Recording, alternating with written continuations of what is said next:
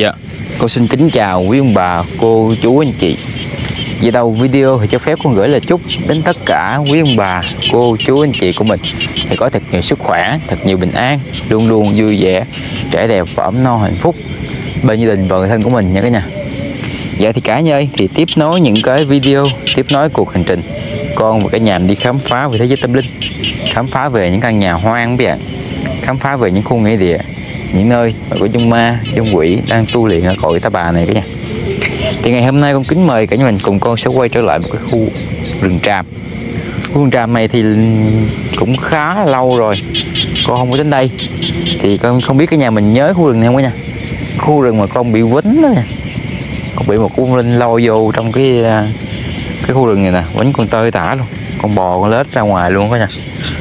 Thì cũng may cách đây cũng cũng cũng vài tuần hết vài tuần rồi con không có đến đây.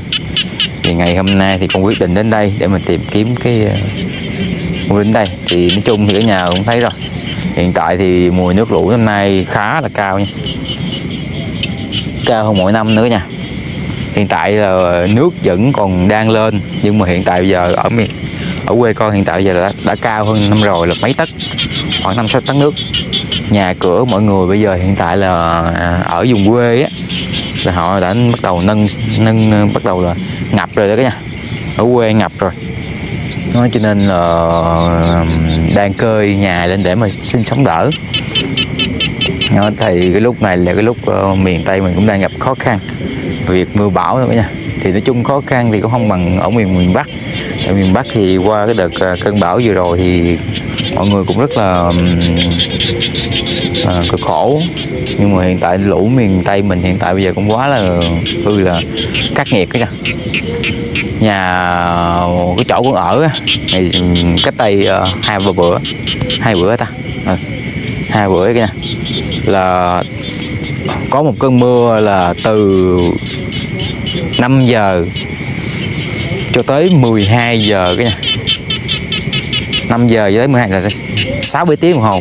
Là mưa lớn liên tục là nổi cơn mưa hay không là ở miền Tây mình là lên gần 6 tấc nước.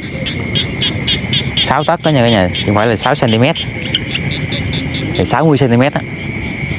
Cho nên bà con hiện tại bây giờ bỏ ruộng nương rất là nhiều. Rồi xạ du ba có chỗ để thấp đó cả nhà. Rồi bỏ ra ruộng nương rất là nhiều. Rồi dưa hấu, mình có trái khoảng ký ký mấy rồi cả nhà. Chuẩn bị, nói chung là còn vài tuần nữa thu hoạch đó mưa một cái là ngập hết luôn. Bây giờ là bà con ở miền quê mình là khóc thét hết. Tại vì uh, coi như là công sức của mình là trồng mấy tháng trời. Là coi như ôi da có bông nữa gì cả nhà ơi. À, bông ở nhà có bông ở nhà. Ôi nhà theo không? Đúng rồi có vòng có vòng có vòng để coi thoải mái cả nhà.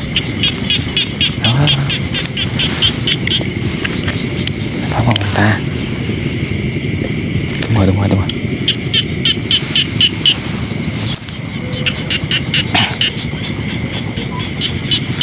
Vậy mưa Phật tôi xin chào vong nha. Dạ dạ Bình tĩnh bình tĩnh. Tôi muốn giúp đỡ cho vong thôi mà. Ai cần mày giúp đỡ. Làm gì hung vậy trời Mày là thằng nào? Mày đi vô đây làm gì? Mày muốn chết hả? Tôi vô đây chủ yếu là muốn uh, cúng kiến cho vong dùng Rồi tôi gửi vong đi về chùa thôi. Tao không cần Sao vậy? Trời trời trời trời trời trời Ông, ông đừng Ông đừng có hung quá nha. Tao hung rồi mày làm gì được tao? Không được lắm. Hủy vô người ta hả mày Vô người ta hả mày Trời trời trời trời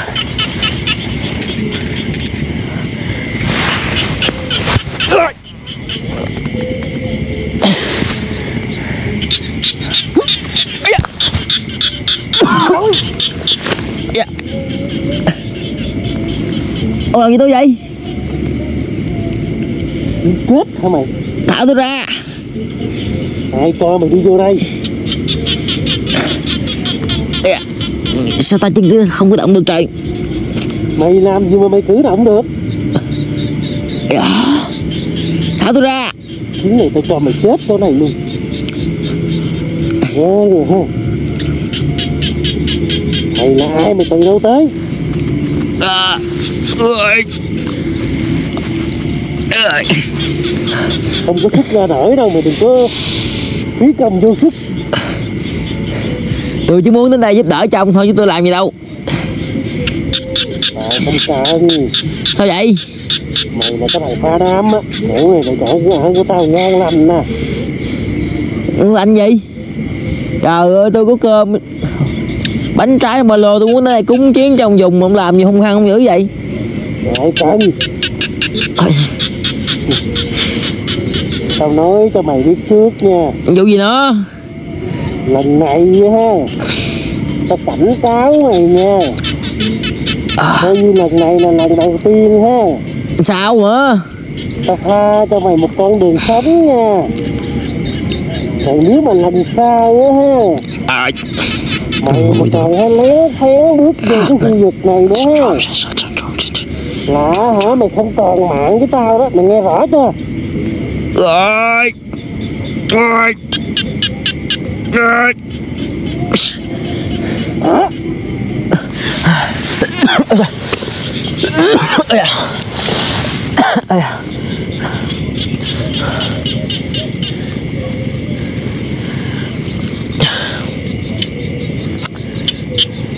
Được rồi cả nhà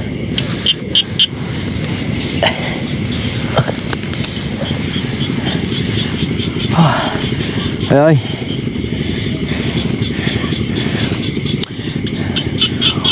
Đúng thiệt rồi cả nhà ơi.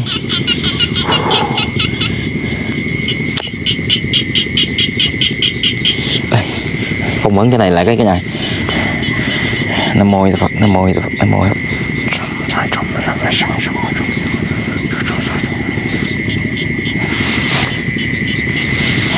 À,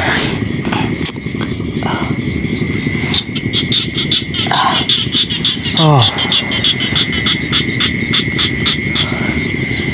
Rồi, lần đầu tiên.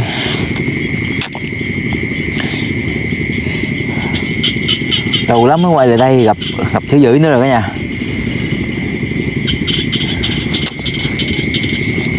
Lần đầu tiên con con à, cảm giác được cảm nhận được cái à, cả cái cảm giác mà bị bị trói đó cả nhà. Không cử động được. Không làm ăn gì được hết y chang là một con kiến trong rọ, chuột trong rọ kìa. Chỉ biết là nằm ở dưới trận thôi. Cũng may là hồi nãy ờ, cái phong linh ờ, này cũng chừng này cũng tha con một mạng nha. Chứ nếu mà ông quánh con chắc cũng mất mạng đi luôn rồi nha.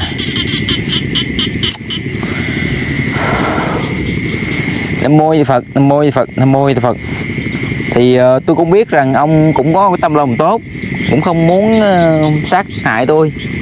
Đó thì tôi hy vọng rằng á thì tôi muốn đến đây chỉ là muốn giúp đỡ ông thôi muốn cúng kiến cho ông dùng.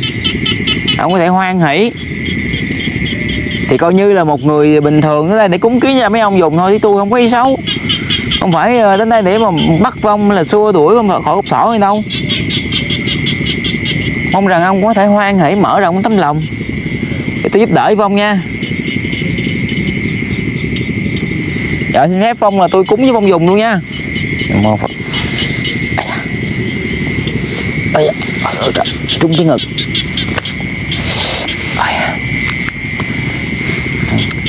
Tạm thời con đã phong ấn cái chỗ này lại rồi chắc không sao đâu cả nhà.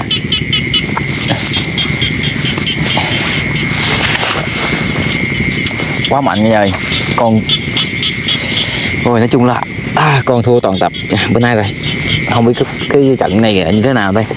Cái con vẫn còn biết có chịu nổi với ổng không đây? Rồi tranh thủ nữa nha. Rồi nhiều nhiều khi mình uh, cúng kiến ông thấy ông ông chịu cái biết đâu ông ổng ông ra không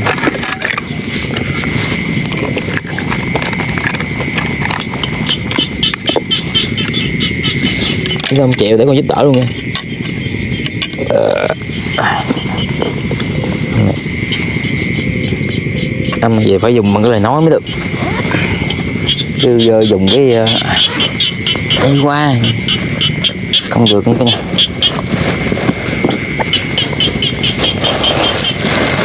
Anh ơi cùng với cái này thì cũng phải ờ, quan sát cái đấy cây cây à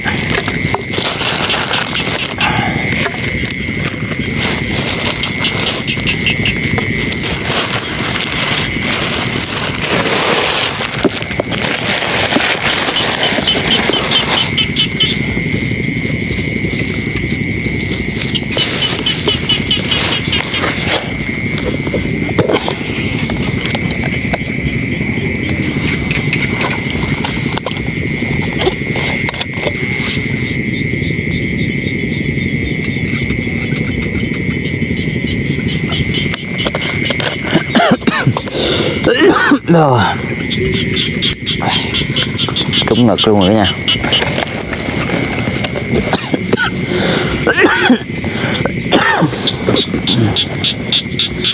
Chịu rồi, chịu rồi. Dạ, khó chịu quá.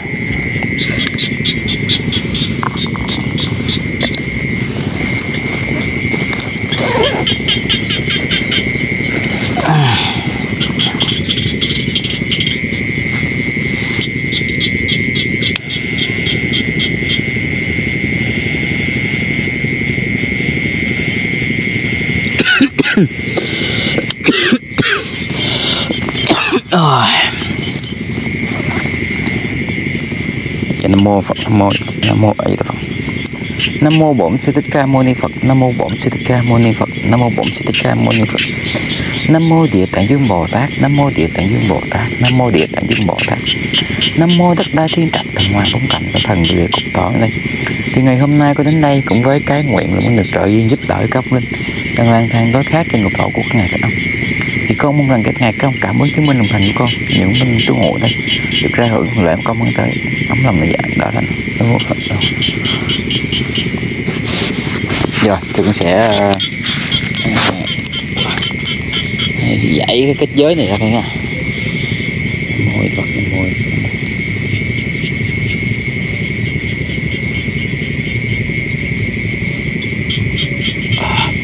à, giọt giọt Ây da, ây da. Ây da.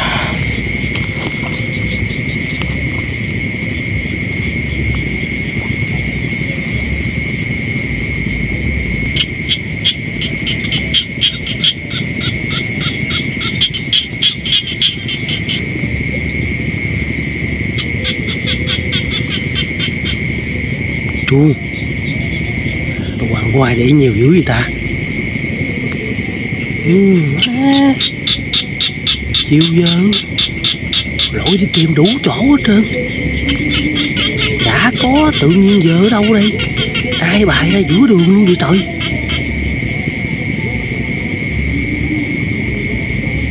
Có khi nào thằng nào Đi vô đường này bị té xe để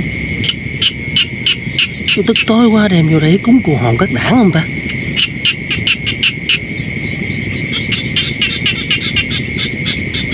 Ui Mà kệ đi.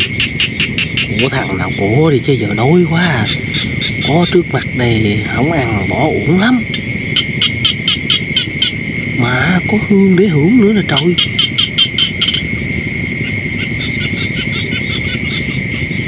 Mà mình cũng đâu có thấy ai đâu.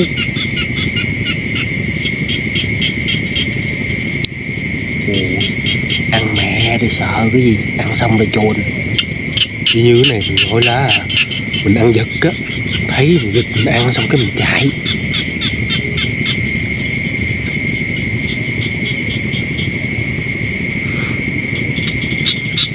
Chầm rầm mà nó phát hiện mình ăn xong mình cũng ăn no mình chạy mất tiêu rồi ai đâu bắt bớ được mình.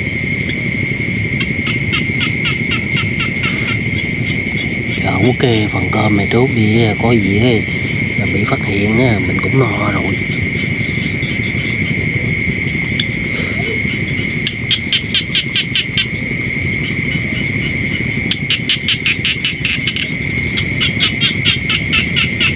Chà, cơm này thơm quá ta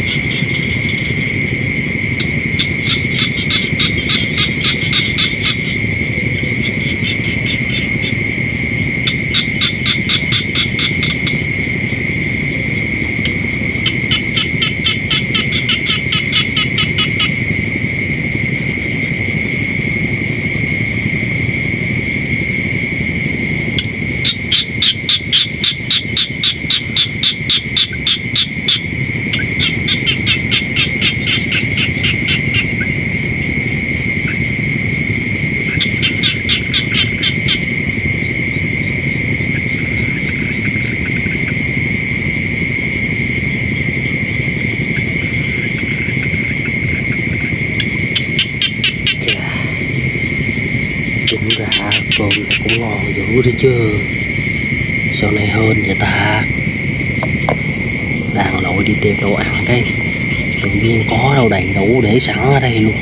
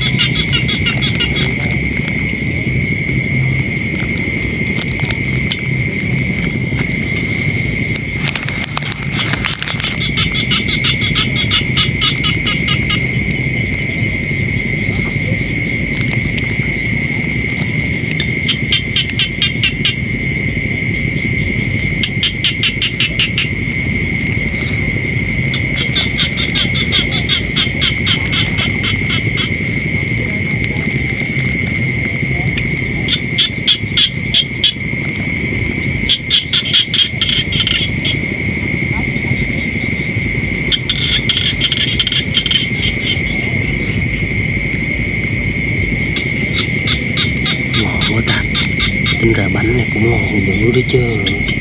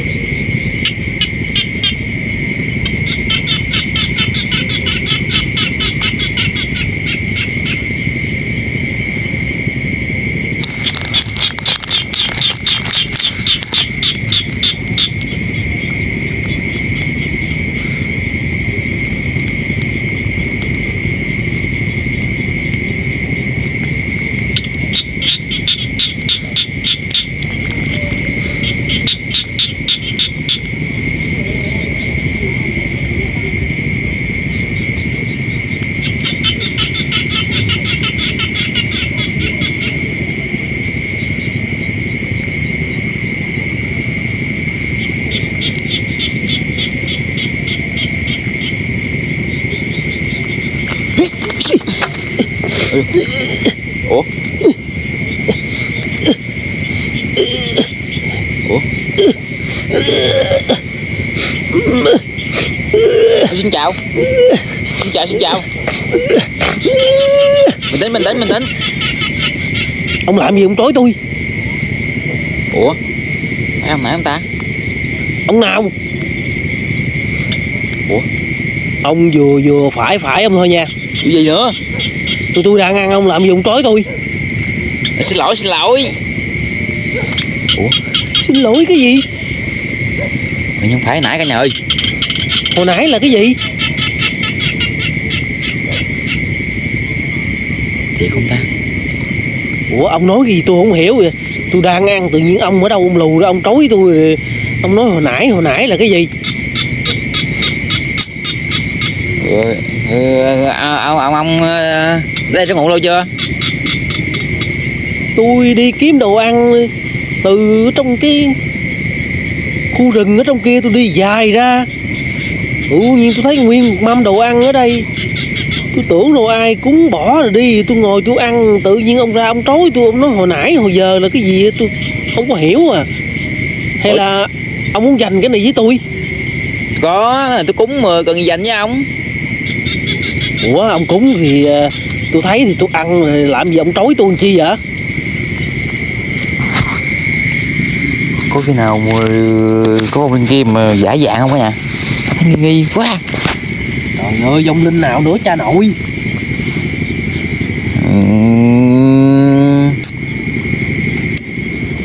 Tôi mới đi ngang đây luôn á tôi không có biết cái gì à nha. Thiệt không? Tôi gạt ông tôi có được cái gì đâu. Tại vì á tôi đói quá rồi tôi thấy đồ ăn nhiều quá rồi á. Tôi ngồi xuống tôi quất nãy giờ mãi mê luôn nè. Tôi có biết cái gì đâu. Wow. Thì, nghĩ vậy thì giờ tôi thả ông ra mình tỉnh nói chuyện tôi nha.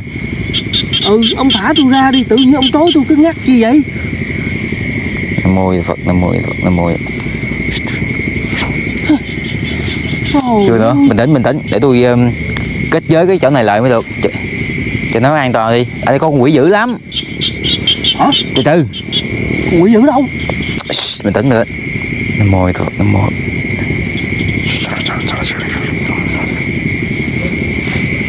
Ui, rồi xong rồi đó. Ủa, cái ghê vậy? Cha nội quỷ dữ đâu tôi biết đâu nãy quánh tôi đó rồi rồi rồi, rồi, rồi tự nhiên cái ờ, mất tiêu luôn. Tưởng ờ, ông là quỷ dữ nãy chứ.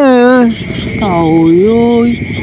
Tại vì tôi đi tìm đồ ăn rồi tôi thấy hương khói bánh trái rồi cơm lũ khủ ở đây nữa. Mà để đầy cái đường này ông nghĩ coi gặp đói thử cái ba vô ăn không? Rồi Dạ. tôi mãi mê tôi cúi đầu tôi ăn tôi có biết cái gì đâu. Rồi nãy giờ ông ăn là ông có thấy ai không thấy con, quỷ nào không? Tôi không có thấy ai hết trơn á lúc tôi ăn mà tôi còn suy nghĩ là không biết là hả có ai mà nhiều khi là đi cái đường này rồi á bị ờ, té xe hay là bị quở gì không? Rồi tôi nghĩ là chắc người ta đem vô đây nhiều khi ờ, người ta cúng cua hồn cúng cái gì xong người ta bỏ qua tôi thấy vậy tôi mới bay vô tôi quất nè tôi có thấy ai đâu. Ồ. Ủa wow mà ông nói ai sao tôi ờ, đi tìm đồ ăn ờ, từ trong khu rừng kia tôi đi dài ra tôi có thấy đâu. Tôi tôi giờ cũng không biết nói sao với ông nữa trời ơi nguy hiểm vậy. Vì bởi. Nói chung là ông không có ở đây ông ở khu rừng khác. Ông ở đây ông ờ, kiếm đồ ăn. Đúng vậy vậy thôi vậy ông thả cho tôi đi đi. Thôi. Thấy lỡ hồi đấy ông nói con quỷ gì nó tới đây rồi chết tôi à. Không chết rồi ông sợ gì nữa. Có nghĩa là nó quánh tôi á, hồn siêu khách tan á. Không sao đâu không sao đâu. Tôi có lập kết giới này rồi chắc ờ, chắc không có bị đâu. Ông đấu lợi nó không mà ông giới giới bọng gì nha biết đâu mới quánh nãy này không biết nữa. Ủa ông, bị nó quýnh luôn hả? Ừ quánh vậy? nó quánh xong trối lại luôn. Cha ghê à. Thôi bây giờ bây giờ nói chung là tôi nói thế này nè. Một quên nữa nãy giờ nói chuyện ông cũng không biết tên gì luôn. Của tình lý. Tên lý hả? Trời ơi rồi, rồi ờ, nó mất uh, nhiêu tuổi mình thấy đầu tổ mô ten thế tôi mất lúc 32 tuổi à. Ồ 32 tuổi mà còn mô ten chứ à ơi, tuổi đó là cái tuổi xì tin của người ta đó ông mình mua đen rồi này kia rồi á mình buôn bán cái này cái kia á, là người ta thấy người ta mới thích người ta mới hot người ta mới ghé người ta mới ủng hộ. Dữ vậy hả? Đó. Rồi, rồi hồi xưa có vợ con gì chưa mà sao mất xuống rồi không hai tháng hương cho hưởng phải lang thang vậy?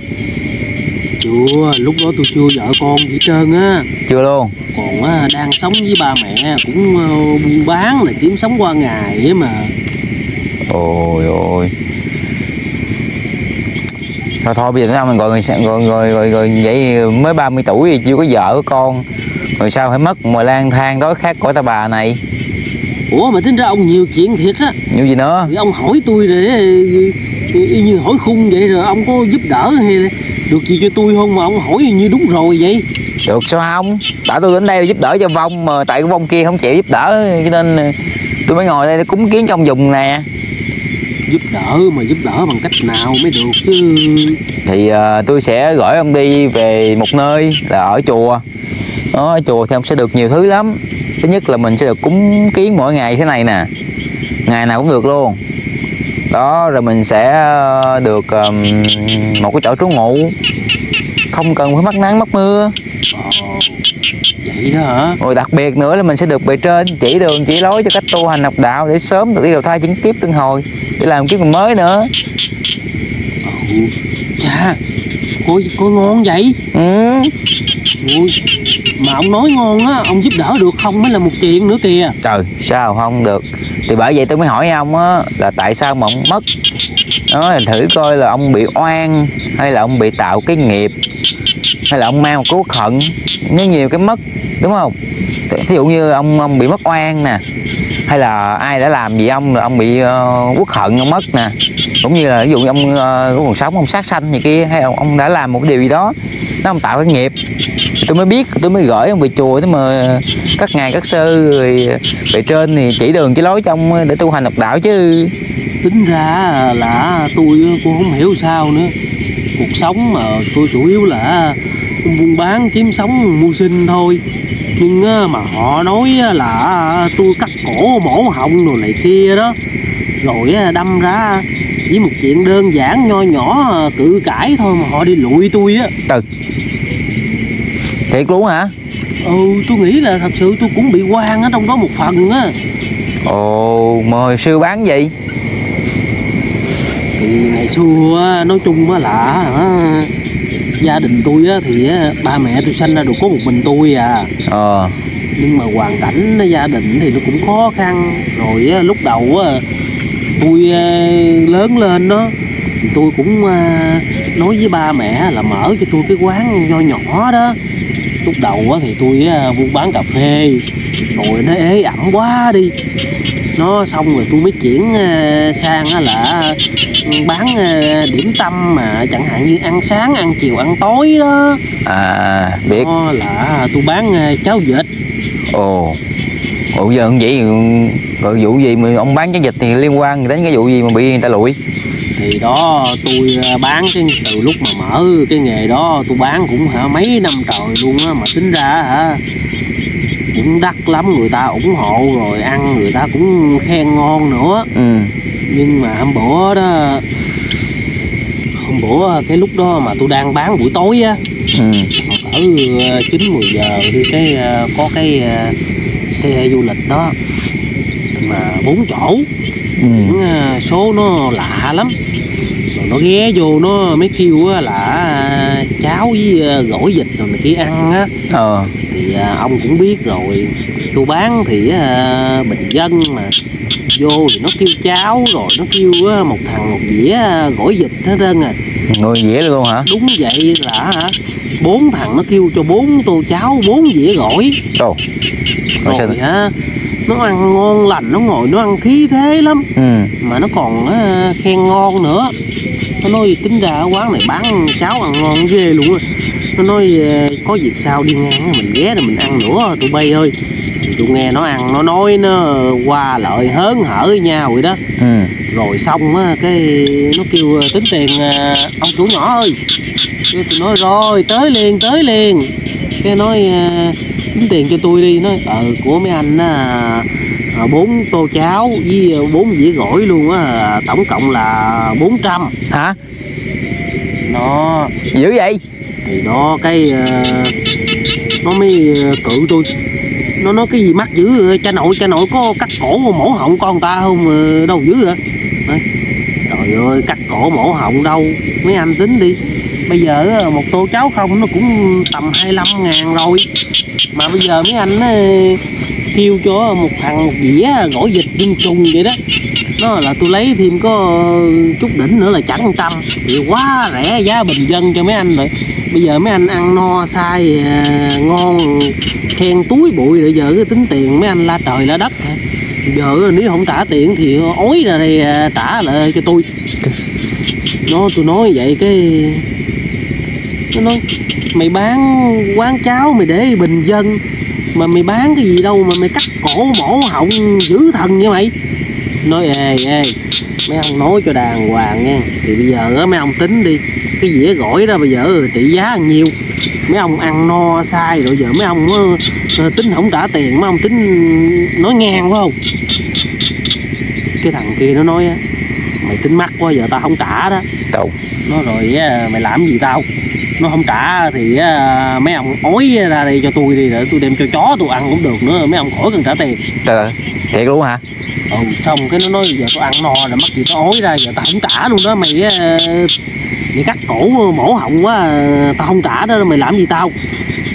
Xong cái cầu cửa cự cãi qua lại này kia cái tôi quạo quá tôi nói nếu tụi bay mà không trả tụi bay hả đừng có hòng mà bước ờ, khỏi ra chỗ này ờ, tao đập mấy tụi bay đó. Nó xong cái cự cãi này kia tôi bợ ghế lên tôi tính giới nó rồi. Ừ. Cái hả nó nói gì? Ê, tôi chừng nó đánh tụi bay đó né ra. Thằng kêu kia ngồi né ra nó bợ ghế đánh á. Xong cái nó né ra cái tôi nói bây giờ á nó nói thiệt chứ mấy tụi bay một lần nữa bây giờ tụi bay có trả tiền hay không? Bây giờ tụi bay ăn no sai giờ tụi bay tính không trả mày tính giật phải không? Nó nói bây giờ bây giờ tao giật luôn đó rồi mày, mày mua muốn cái gì? Cầu cưa qua lại tôi với ba thằng kia đang cự cãi á. Ừ. Tôi cũng sơ ý cái thằng nọ nữa mẹ nó lẻn đi trong vô trong cái tủ thịt của tôi đó. Mà có cái con dao thái mà để tôi sắc thịt ra tôi bán đó. Ờ.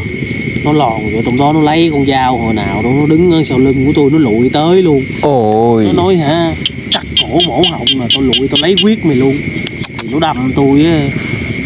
Nhiều nhát ở sau lưng tôi đâm tới á rồi á tôi quỵ xuống tôi mất luôn á.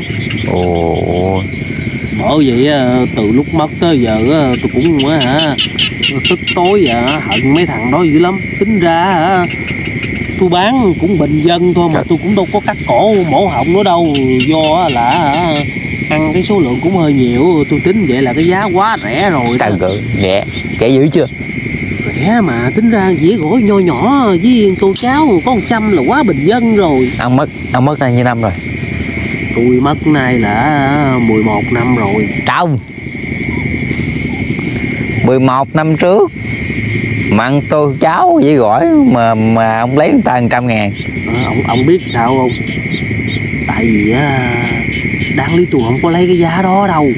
Cái chứ thường thường 11 năm trước ông bán nhưng thường thường ông bán lúc trước bán bình dân là bán tô nhiều. 10 hay 10 mấy ngàn hay 20 ngàn. Luôn gỏi bọng này kia ba chục ngàn là dữ lắm rồi ông ơi tại vì á tôi thấy mấy thằng này á nó đi xe xịn nè rồi nó ăn bận sang trọng đó. Nó bước xuống á, tôi thấy tướng cũng bảnh tỏn này kia giống đại gia đó. Rồi gặp tôi vắng nữa tôi định chặt chém để kiếm một số vốn mà trời nhưng ơi mà không may là tôi chặt trúng thứ thiệt.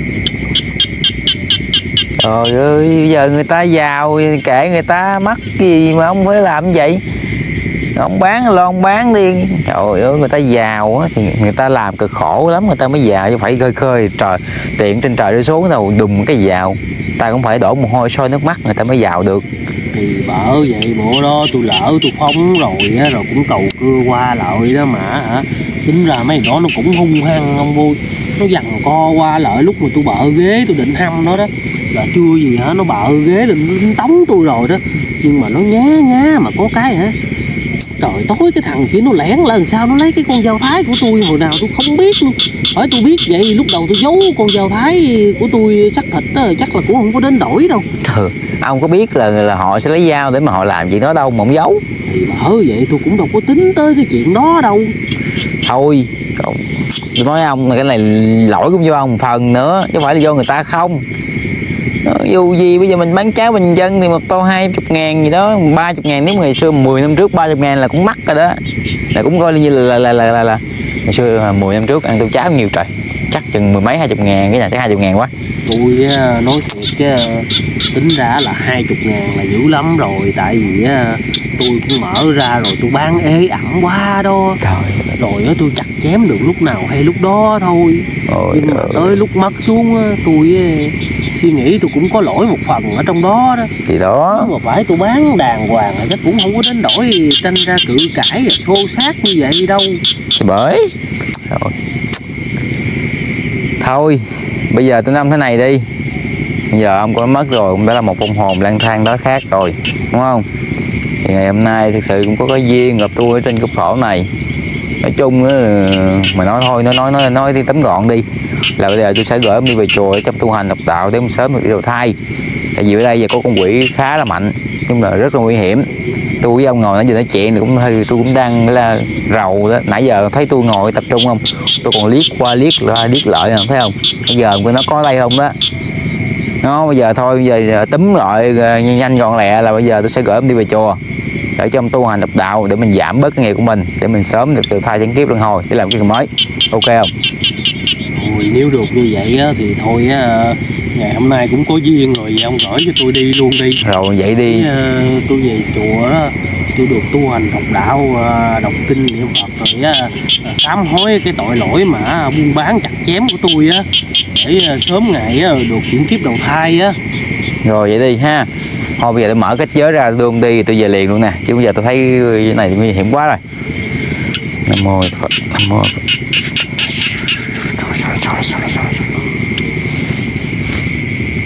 Rồi bây giờ tôi sẽ gửi uh, mong về chùa ha về tới cổng chùa nhớ trình diện hai ngày phát giùm tôi nha.